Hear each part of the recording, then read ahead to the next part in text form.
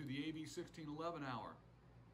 Day, here on the AV 1611 hour, me, Nelson Turner, I, Nelson Turner, am going to read a book called Living Faith. It's a sermon by Samuel Ward, and um, I find it very happy, very edifying, and it's just a wonderful sermon concerning faith.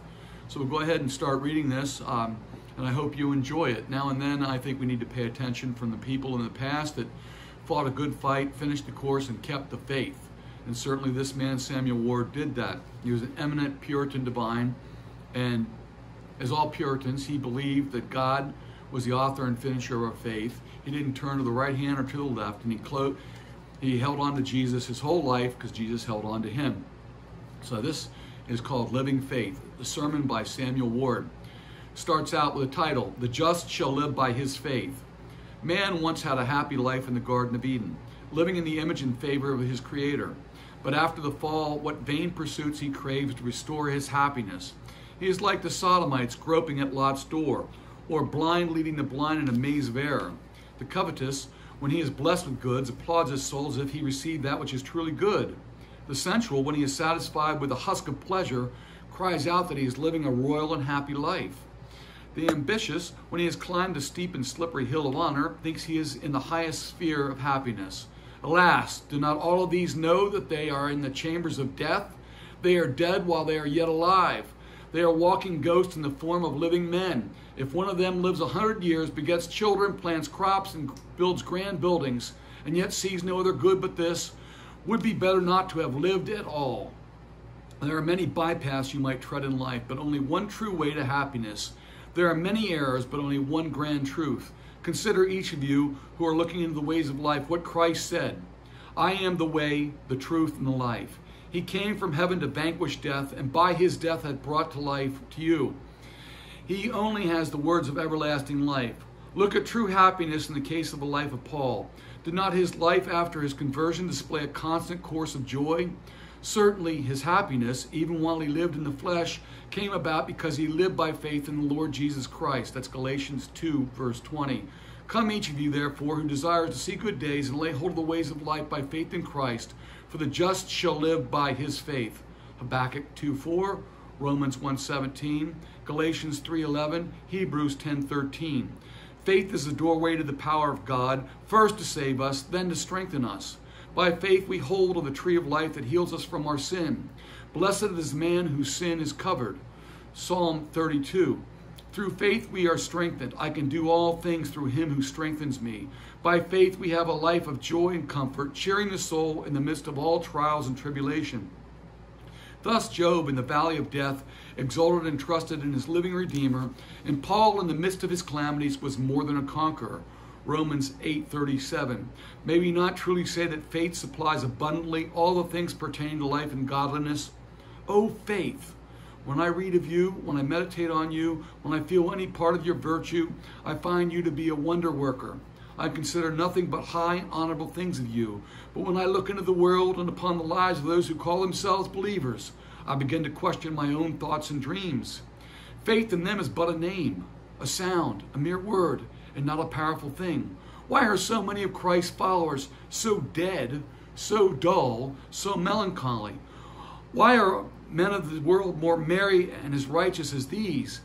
Has faith's strength faded? Is its virtue exhausted in these latter days? Is it because men do not truly know it? Paul of old and Luther of late teach of the greatness of faith, but the world does not understand it or does not apply it. Faith finds its luster in action, not just in notion. It enters our hearts and not just our heads.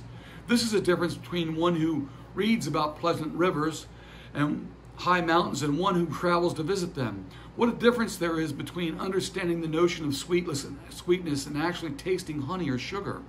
In a word, you see schools disputing it, preachers preaching it, professors discussing it, profane men swearing by it, but few or none living by it.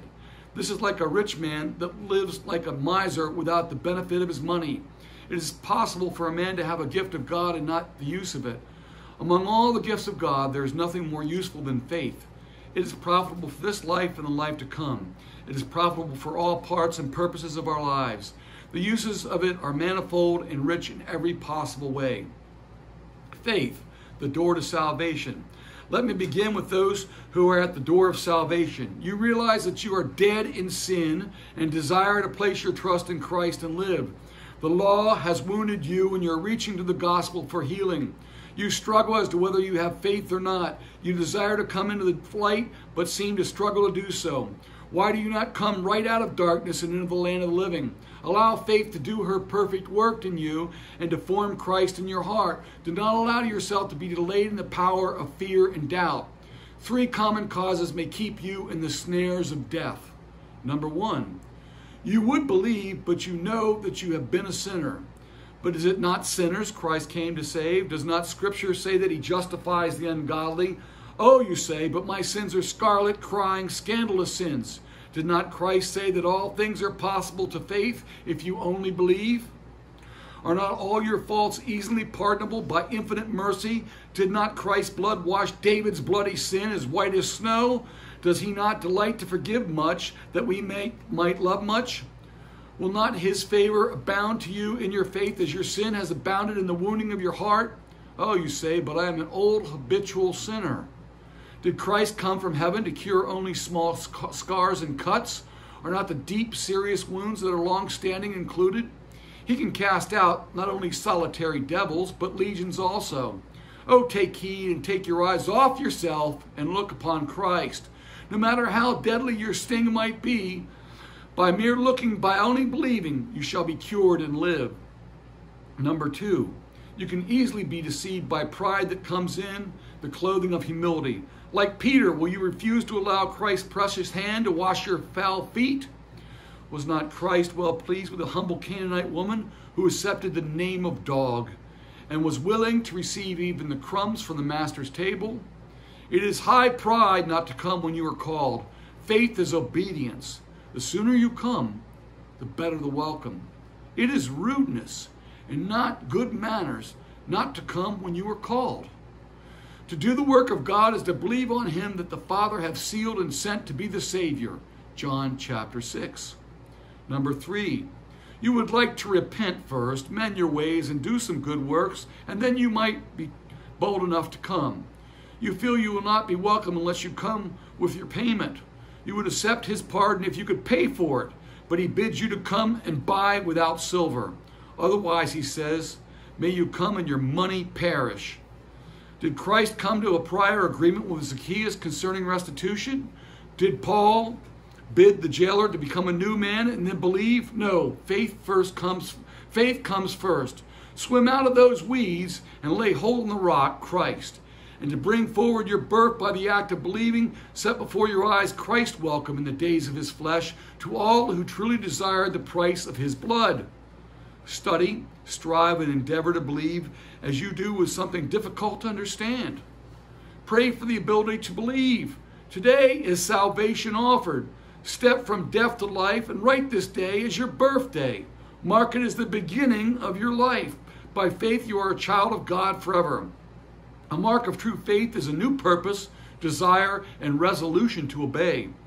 But Zacchaeus, the jailer, jailer, and all new converts had no more than this as they want believe, and you shall be saved. Faith in the young Christian. By faith you put off sackcloth and ashes, and put on the garments of joy and gladness.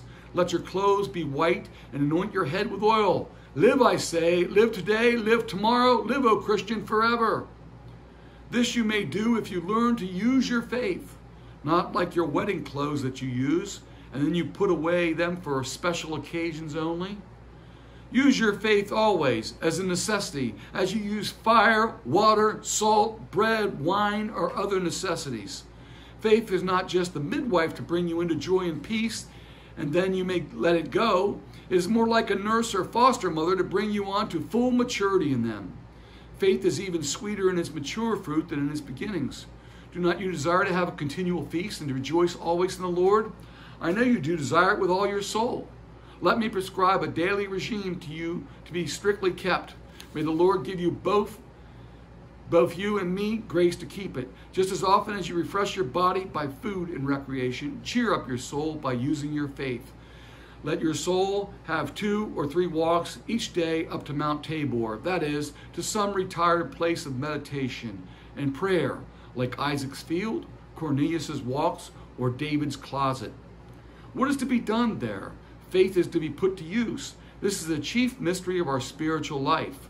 Stir up your soul in this mountain to talk with Christ. Consider all the promises and privileges you regularly enjoy i.e., think about everything He's done for you and is doing for you. Now, actually, to think of them, roll them under your tongue, chew on them until you feel their sweetness in the palate of your soul. View them together and individually. Sometimes contemplate one in particular and another more deeply. Consider how wonderful it is that your debts have been canceled and that the wrath of God has been satisfied. Consider how happy and safe a condition you are in by being a son of God, and how pleasant a state not to fear death and hell. Consider how stately a thing it is to be an heir of glory. Mingle these thoughts with your prayers to heaven for grace and aid. Do not leave the mountain until your heart has been cheerfully warmed and revived in strength for the next day. This is using your faith. It is living by faith. You will find your soul saying with good reason, It is good to be here. It is good to be here daily, to come here often. The fire in unstirred coals does not glow and does not heat the house. Sugar unstirred in the wine does not sweeten the wine. Not using your faith is almost as bad as not having it at all.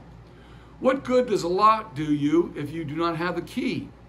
It is not owning land, but also tilling and planting that provides food. Oh, that we could see this truth as clearly in the matter of faith as in the ordinary affairs of life. The principal benefit and beauty of faith is in its use and not in the bare possession of it. I'm going to interject here. People often are all about going and buying something and spend months, weeks, or even years talking of what they're going to buy. Then, when they buy it, oftentimes it's laid aside and they chase some other acquisition. But once you have Christ, He's bought you and you've been bought by Him, then you need to use His faith daily and at all times. It's a living relationship you have with Christ, not a dead name only. Oh, that we could see this truth as clearly in the matters of faith in His ordinary affairs of life. The principal benefit and beauty of faith is in its use and not in the bare possession of it. The more you exercise your body, the more you can do. The more liberally a man gives alms, the more his liberality grows and shines. The use of faith breeds victory. Through disuse, things perish and come to nothing. The plow laid up will rust and degenerate and disintegrate, but it will in employment shine, do great good, and last much longer. Let a man diligently and thoroughly make use of his faith, and it will become great, and great will be the joy that it will bring to him. Part 2 The Folly of Neglecting Faith. Live by faith. Again, I say, always live by it. Always rejoice through faith in the Lord. It is neglecting this exercise that allows your own low moods and Satan to interrupt your happiness and spiritual cheerfulness and to hold you in the dumps and in gloominess. What if you have a natural inclination to melancholy? Cannot faith correct nature? Does it not have power to clear the mind of all cares, fears, and griefs? Can it not exhilarate the whole man? But what good is this faith if it is not used? It is like a soldier with a sword at his side, not drawing his weapon when he is attacked. If a discouragement overtakes, cannot your faith say to your soul, Why are you disturbed? No one consider in whom you believe. Would not the Master rebuke the winds and the storms and bring calm to your mind again? Do not most men have something they use to counteract their discouragements, like David with his harp? Some seek refreshment in company, or wine, or tobacco. They would not go far without a supply of these. But would not the least taste of faith be far better? Should not the wise Christian rather take in the sweet air from the precious promises of God? Keep your faith, and it will keep your joy. It will keep it even in an even, ever flowing current without ebb and flow, clouds or eclipses, turning ever upon the hinges of heavenly and solid joy. How can it be otherwise? Do not Christians consider how unsuitable it is for them to go about drooping and hanging their head? It is not becoming for the is it not becoming for the righteous to rejoice? What is a Christian but one who is joyful? Does not the kingdom of heaven consist in joy? Does not heaviness drive people away while joy draws and wins? That's what Christ spoke of over and over again, that they would behold the joy of the believers and be drawn to the light. When there's light and there's joy and there's hope and there's peace, men are drawn to that. They're not drawn to weariness, dreariness, and sadness. They're drawn to victorious Christian life. Men wonder to see a rich man who has his heart's desire in a fit of heaviness. But I wonder a thousand times more to see one that has Christ as his friend and God as his shepherd and knows that all must work for the best to be any time out of tune or out of sorts. For if a Nabal to be as dead as a stone is no surprise to me, but if Nehemiah's countenance is changed, there must be some extraordinary cause. Can you be sad when you have all possible treasures laid up in heavenly places where moth and rust and thieves may not come? Our treasures are out of the devil's reach, and not only for a number of years, but forever and ever. O vain man, shew me your faith by your by your joy. If you say you have faith and live a life of sadness, I will not believe you. Use your faith and have joy because your faith and increase your joy. Increase your faith and increase your joy. Faith and a mature Christian. I must now draw you a little higher. It is a small thing for you to be cheerful at an ordinary level. Your joy should exceed the happiness of those in the world, both in quantity and quality. If your joy is not sweeter and higher and more pure, more constant than that of carnal man, you dishonor your faith and show you are young in the kingdom of heaven, which is joy unspeakable and full of glory in the Holy Spirit. Do you not have living water flowing out of your soul? Should you that should you that have tasted of grapes of Canaan, pine for the onions and garlic of Egypt? Do you need to stoop to the world's puddle to drink when you have tasted faith's sweet fruits? Certainly God gives us ordinary and delightful ordinary and lawful delights in the world, the wine and oil, music, recreations, and so forth. These God allows us to enjoy for the sake of our bodily health, but not to stuff ourselves with them. We enjoy them, but we can be happy without them. We do not live for them, but live by faith. It is sad to see a Christian pursuing joy and coarse and earthly pleasures when he has more noble and angelical delights, second only in degree and manner of enjoyment to heaven itself. Our faith takes us to the third heaven. We roll and tumble our souls in beds of roses. That is our meditations of justification, sanctification, and salvation through Christ. No day should pass without these enjoyments. Should not our soul have her due drinks, breakfast, meals, snacks, and desserts, as well as our body? Cannot such meditations make pleasant works of our daily task? They would make time pass by like a boat with full wind and tide needing no oars. They would make all of our days like holidays and celebrations.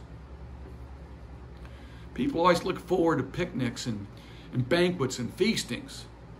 But there's a spiritual banquet, a spiritual picnic, and a spiritual feasting that we so often neglect to engage in. I think we were engaging in that today when we were singing. Faith and failure. You will reply, the exercise of our faith will be possible and easy if it were not for our failures that dampen our joy. How can faith not be dampened by such stumbling? The answer is this He who daily keeps watch with his God shall seldom or never fall in any foul slough or dash the ship of faith against a dangerous rock. If he does, his faith will soon make him go out, weep bitterly, make peace between the Lord and his conscience, and restore his joy and fellowship. For his ordinary infirmities, his faith will daily secure his pardon, washing and scouring his soul every morning and evening, even more than a Pharisee washes his hands. He will daily draw the red lines of Christ's cross over the black lines of God's debt book. Does not God Himself, who knows all things and sees the violation of His law much better than we, even every act of sin in thought, word, or deed, look upon the handwriting against us and see the bills paid in full and canceled with the precious blood of His Son? This blood is sufficient to cover, nullify, abolish, and wholly take away our sins in such a way that we need, he neither sees, will see, nor can see them as requiring action against us. Some suggest that such a doctrine will encourage sinners to go on in sin if pardon is so great. O peevish and perverse generation. The text does not say that every hypocrite and profane professor of faith shall live. Um, every profane professor, professor of faith shall live by his faith, but the righteous these promises are ministered to be prayed and used by true believers. These pearls are not for swine, they are reserved for the true bride of Christ alone. Our text implies that whoever believes and lives by his faith must also of necessity be a righteous man, not just imputatively, but also in himself. One that loves righteousness, that denies and hates unrighteousness, and seeks daily to be more and more righteous, deserves to be labeled righteous, though not perfectly. How faith sanctifies and mortifies. Holiness is a natural and necessary effect of faith. Consider all that Christ has done for you. Consider how he has forgiven you many debts and conferred so many favors of all kinds upon you. If there is anything you can do to repay such love, if you give all your goods to the poor and give your body to be burned or your whole life to a service, that is not enough to repay. Do you love your Savior? Do you not dare to do anything that is displeasing to Him? Is there anything too good, too hard, or dear for Him? Mary, if your tears might wash His feet, would you hesitate to pour them out? Is your hair too good to be His towel? Is there any spikenard too costly for His head? Joseph, the Lord has need of your tomb. Will you deny him? Zacchaeus, do you love your wealth above him who saved you? Stephen, do you love your life above your master? Does your faith constrain us? Does not faith constrain us more than all wages and prizes? Does it not give more for us than any torture or punishment? So what then? What so that when you want to get anything out of your wayward heart, set your faith to work and you will be sure to obtain it. The power of God will secretly empower your heart, infusing it with pliable willingness and making your will lamb like and dove like. All this it does by fetching its efficacy from the life and death of Christ, from the mighty power whereby Christ raised him from the dead, cured all the diseases, and performed his miracles. This transforms the heart of man and creates new principles of action in him. Prove this power in the mortifying of the sins of your flesh and in making your spirit alive to holiness? Do you find a strong, inbred, habitual vice troubling you and keeping you prisoner against your will? Will you often have you often resolved to forsake it but failed? Have you tried purposing, promising, resolving, vowing, fasting, and watching? By faith, but touch the hem of his garment. You shall feel virtue come from him to cure your disease. But you must die to yourself and renounce the broken reed of your own power which has often deceived you. Place all your trust in the grace of Christ, and it will crucify the old man. Be weak in yourself and strong in the Lord, and by faith you shall be more than a conqueror. Leave struggling with your sin and fall with Jacob to wrestling with Christ for a blessing. Though you go limping away, you shall be a prince with God and be delivered from Esau's bondage. What if Satan, with his legions, has long held possession in some strong fort of your heart. Persist in resisting, and he shall fly, and you shall see him fall like lightning before you.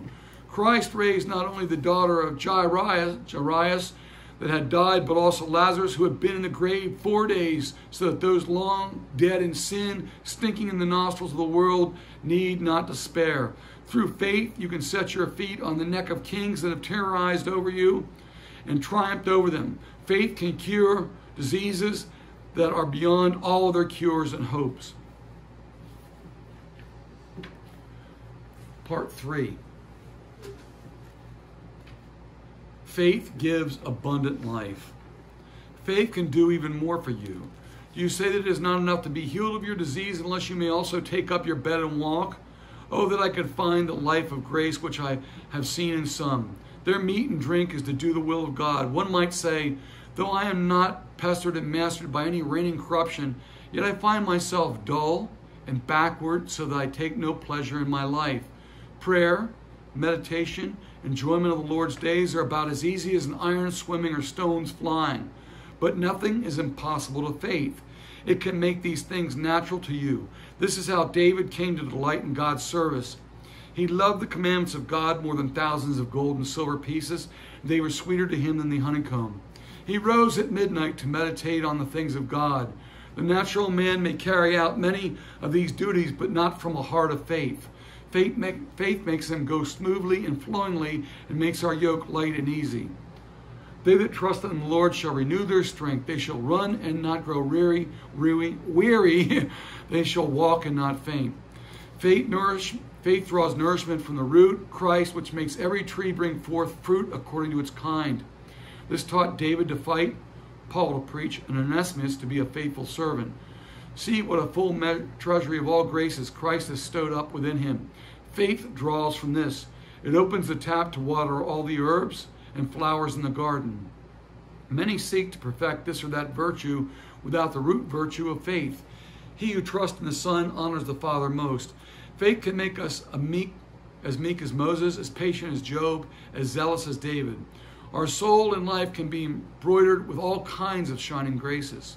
When you are on top of Mount Tabor, comforting your soul in the Lord and seeking his favor through faith, feasting and banqueting with him as Esther with Ahasuerus, think what to ask him, what enemy you could, could be rid of, such as some Haman of pride. Consider what grace you need and ask for your portion as Achish did to Caleb. Judges 114. Following this instruction daily, even though some days you will be more fervent than others as the Spirit assists you. I do not promise you that you will arrive at perfection, yet as you grow from faith to faith, so shall you grow from strength to strength in His graces, till by degrees you will attain to maturity in Christ. You will be a saint upon the earth. You will be a light in this dark world. You will be able to live in holiness and righteousness all the days of your life with much more comfort to yourself and credit to the gospel than strangers to the life of faith think possible. Faith upholds our life in affliction. Is there anything still lacking that prevents the complete happiness of a believer's life that faith cannot supply? The flesh, the flesh, which is ever cowardly and loves ease, Think about that in your own life. Your flesh is cowardly, it seeks to avoid conflict, and it loves ease. It loves merriment, it loves pleasures. It doesn't love the hard duties that God calls us to sometimes. To break out of your flesh and get into prayer is sometimes a great struggle, but you needs be about it day after day. The flesh is ever cowardly and loves ease is not happy at the poverties, crosses, and pressures it must endure.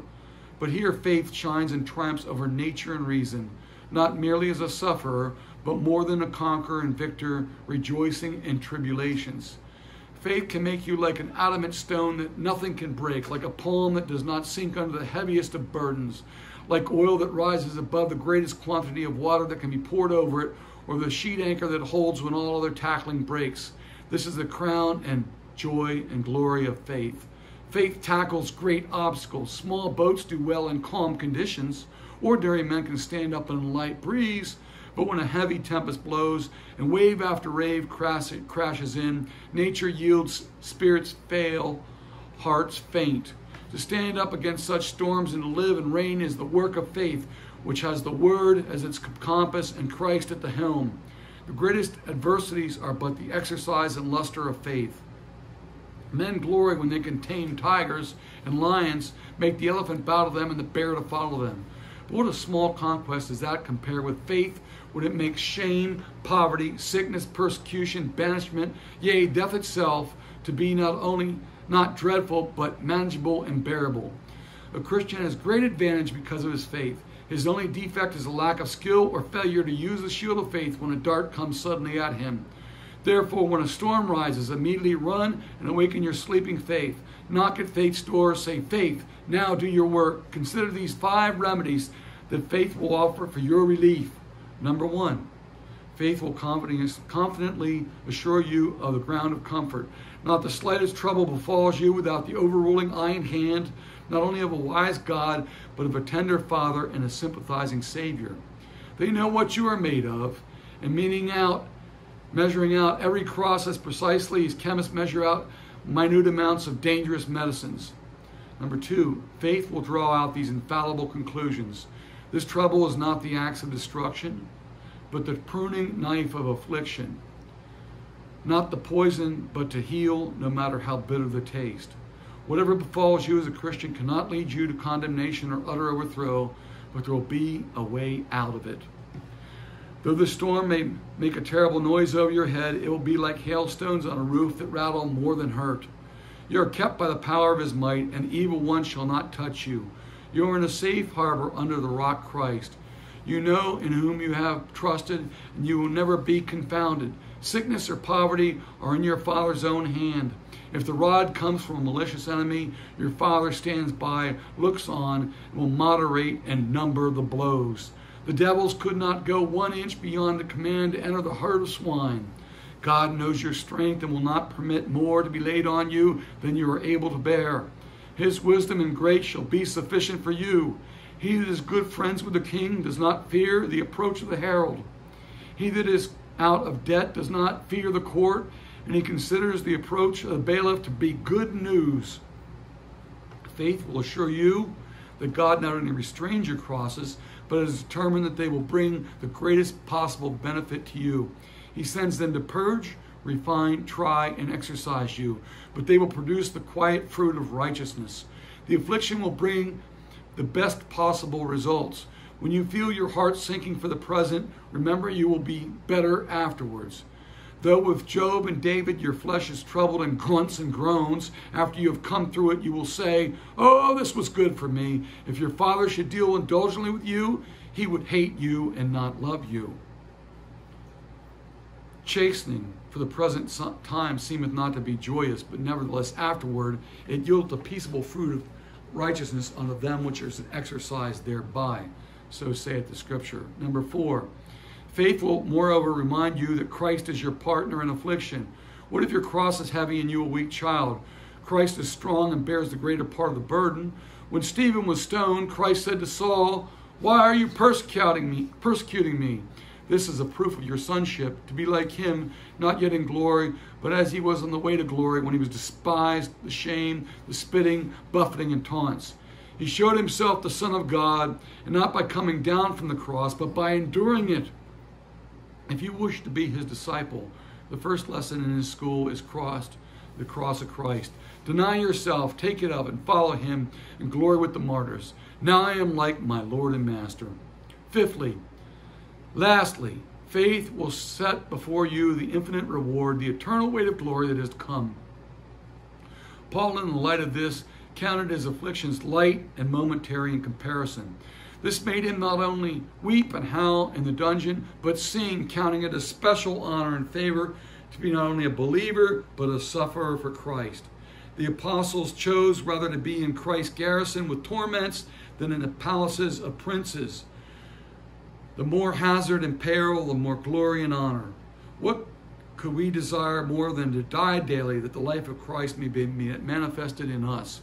Even in the very instant of death, faith so helps the believer that he may be said not to see death and never to die. If all the complaints, grievances, and wants and miseries of life are rightly weighed, the cause of them is either lack of faith or failure to practice faith. So that we can conclude with that worthy ensign bearer of Christ, John Fox, by faith we stand, by faith by we fight, by faith we overcome.